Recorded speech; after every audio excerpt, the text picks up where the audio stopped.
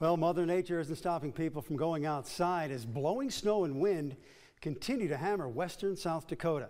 Right now, the main roads around Rapid City are manageable, allowing people to get around. But don't get a false sense of security. Leave yourself extra time to get to your destination. The main roads are mostly clear or at least drivable, but side streets and neighborhood roads will need more attention overnight. Yeah, it's a little bit, uh, a little bit more than I'd like to have for our first snow, but it is South Dakota. Uh, we were lucky, I'll tell you about this. We were lucky we came into town last night. We're lucky we got here because if we'd have been out and we were out east, if we'd have been out in that country, we'd still be out there. As the city continues to work on the main arteries around Rapid City, it's recommended you use caution when driving through neighborhoods.